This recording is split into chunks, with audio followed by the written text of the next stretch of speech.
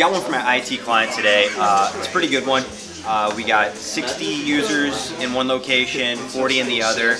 A couple off-site remote for cloud services. Uh, gonna talk to my client Stuart. He's real happy. Uh, looking to meet next week. Hopefully, we're gonna get a big proposal signed. Very excited. Yeah, so I got a couple appointments for my client up in Nebraska today. Uh, one was with like a, like a dairy producer. Um, they had about 30 users across six locations, and they currently use a couple of providers, but um, they're looking for somebody that you know can help with the locations that are in our area. So we're going to go in there and show them what we can do. Hopefully, get them something compared to with what they use right now. Um, the other one was a, another, um, you know, I think it's an electric company. Um, they currently have about 30 users and are using a, a company in our area, but it's more of a, a, a company that you know has a lot of following, uh, big following, and you know doesn't really get to their smaller clients. So not really liking the response time.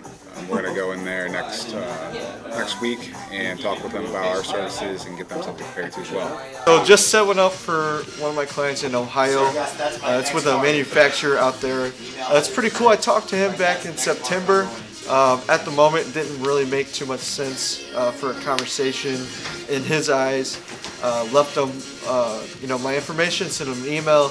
Uh, was actually going to follow up with him next month. Uh, he called me back, left a voicemail, uh, and he was in some dire need for some help. Uh, so I called him back, set up the appointment for today. Actually, uh, client gave him a call and set up an on-site for later this week.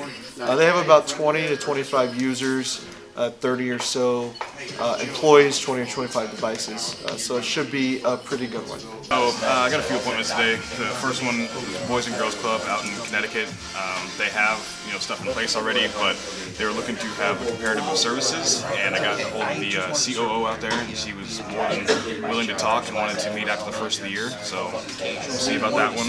Um, Queen, I had a another one here in with my new client in uh, I think North Carolina. Um, it is a home health care facility that they a little bit smaller. They're I think about 10 users, but they don't have um, too much in place as far as structure goes for uh, compliance. So we're going to go out there and see what ways we can help out cybersecurity wise and some of the day-to-day management. And then the third one um, is a church uh, in Denver. We're going to go out and meet with them. They don't really have too much in place as far as backups for IT, um, as like cybersecurity. I don't know how much you need at a church, but um, you know when you do need it, that's kind of when uh, you know, things get rough. So we're gonna go out there and see what ways we can help them out. And um, I think there are about 15 to 20 workstations or users um, on staff there, so it should be pretty good. Got one today for my client in North Carolina. It's with a research organization. About 20 users. Spoke to the um, IT director over there. Um, not currently working with a company like us, but was pretty interested in hearing what we could um, working alongside them. So, like I said, about 20 users. I think they've got two or three physical servers on premise at one location.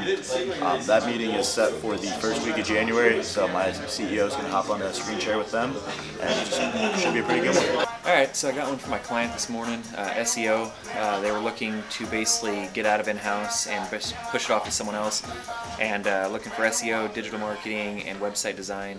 And uh, yeah, looks like it's gonna be a pretty good one. So got one for my client down in mid-Missouri today. Um, it's actually with a dental practice, pretty large dental practice, uh, about 14, 15 users. Uh, they see about 60 plus clients a day. And, um, they currently have a, a fully um, MSP serviced um, IT infrastructure and, and have some pain points in terms of uh, response time and their IT company uh, it seems that they don't know 100% what they're doing when it comes to the software that this dental practice uses. So um, they were interested in having uh, an owner come out and, and just talk to them and see if we could engage anywhere, see if we could be of value. So I'm looking forward to hearing how it goes. Should be a pretty good one. I just got off the phone with an Austin-based firm. Um, they are within the MSP parameters. Uh, we are going to be servicing them potentially with SEO work and website design. They need a website update pretty bad. Um, I'm connected Dennis with them for a couple of weeks from now. Uh, looking forward to get a proposal out to them soon. Well, I've been getting a few appointments lately for a client that I have on the East Coast. They're doing cybersecurity and compliance for some of the FTC guidelines that have changed, and um, we're doing kind of like a group training session.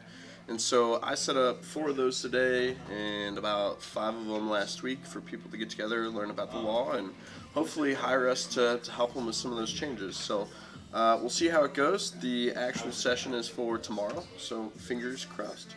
Had a great conversation with Kim, uh, the CTO of a financial brokerage, and uh, they actually recently had a malware attack on their in-ground servers. They moved to cloud-based computing.